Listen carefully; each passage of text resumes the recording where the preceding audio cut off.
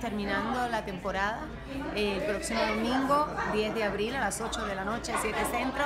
Y, feliz, vamos a tener tres horas de final. Ha sido una experiencia bien bonita eh, a nivel de, de trabajo muy dura pero, pero enriquecedora. De verdad que ha sido muy interesante ver cómo ellos eh, se han, tenido que convivir dentro de la casa y también muy interesante lo que se forma afuera, porque la gente se ha apasionado de tal manera que se han formado bandos, que se pelean entre sí. A mí me dicen muchísimas cosas, pero a mí no me molesta.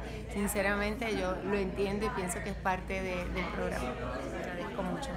Eh, pues me he divertido, me he divertido porque como no son galas así como era el programa que hacía antes, tenía que ponerme estos trajes largos, así como, como el certamen de belleza, eh, pues me divierto más porque me puedo poner eh, conjuntos de pantalón no sé, como que he podido experimentar un poquito más con eso. Yo lo que creo es que, tienes que ponerte eso, cosas que, te, que tú te sientas cómoda, porque puede ser muy bonito el vestido, pero si tú te sientes que se te, a lo mejor se te ve por acá un Michelin o chichito, como dices tú, o estás incómoda, no te vas a ver bien.